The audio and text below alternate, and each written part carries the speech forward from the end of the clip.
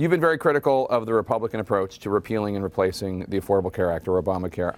I know you object to what the Republicans are doing, but don't Democrats have an obligation to help fix this bill?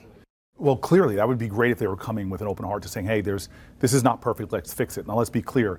Even before uh, the Affordable Care Act, I was a mayor of a city dealing with healthcare costs. They were going up significantly. So don't put this all on the ACA. I don't think you'll find a Democrat or Republican in the Senate who wouldn't honestly tell you that things weren't perfect before uh, and what we're saying in the Democratic Party is let's build upon it, let's fix it.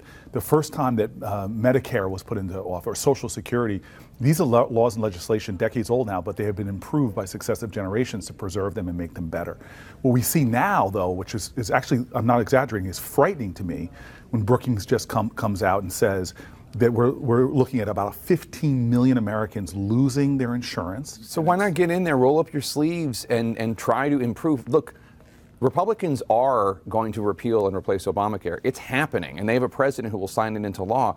Don't you, as a member of the Senate, have an obligation to get in there, join them, and try to improve the bill? Well, I mean, that's really where we are. The, the Republicans cannot just force this down our throats.